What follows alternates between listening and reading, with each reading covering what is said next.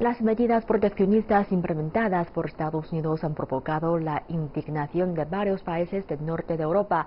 Representantes de comercio y la industria de Finlandia, Dinamarca y Noruega expresaron su malestar con las acciones de Washington.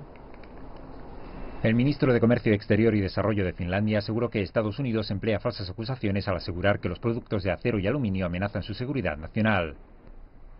Dinamarca hace frente a mayores pérdidas al ser un importante suministrador de partes de vehículos. Según la Federación de la Industria de Dinamarca, los aranceles provocarán pérdidas de 200 millones de yuanes a las exportaciones danesas.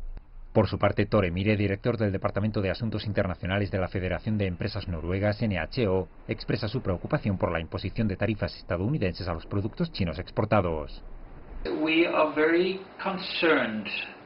Estamos muy preocupados ante las fricciones comerciales. Sabemos que aumentarán.